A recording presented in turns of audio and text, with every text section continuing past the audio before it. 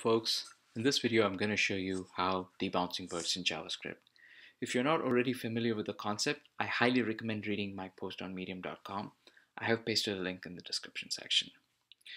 Okay, let's get started. Before we dive into the concept of debouncing and I explain to you how this works, let's just understand what, what it is that we're trying to solve by debouncing. So the user does some expensive actions such as scrolling through your page real fast or you know uh, keys in a type ahead search etc and then there's an event handler for each of these kind of events. And those event handlers get triggered for every single user action.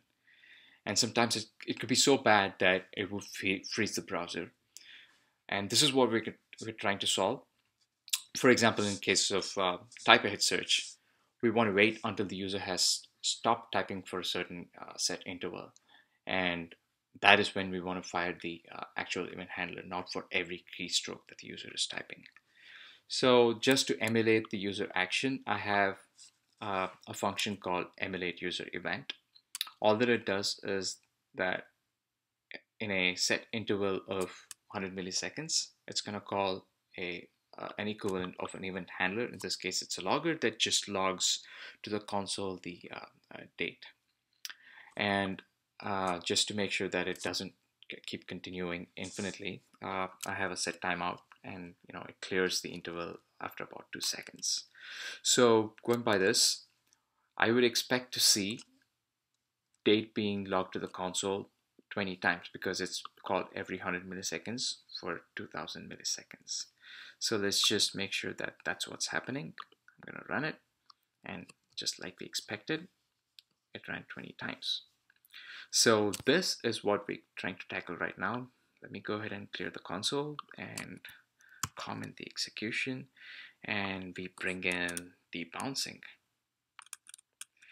Debouncing is just a helper function that takes in a function callback and a wait time and it returns another function which is a closure. So what we're doing here is we have a variable called debounce logger and we call debounce and pass the logger function to it which we declared right at the beginning and 500 milliseconds as the wait time for it. And unlike last time in the emulate user event where we pass the logger function directly, in this case we're passing the debounce logger which is the returned closure function from debounce. So let's execute this scenario and see what happens. Okay, after 2000 milliseconds passed, it printed just one time. So that is exactly what debounce is supposed to do. It's supposed to wait for a certain time until the user uh, has stopped interacting and the events have stopped triggering. And that is when it's going to finally call the callback uh, the callback or the event handler function.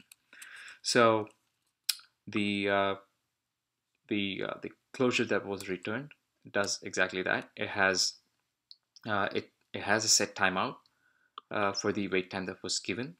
And every single time that that the debounce function is invoked by the uh, by the event in this case you know every 100 milliseconds it keeps clearing the timeout and setting it again.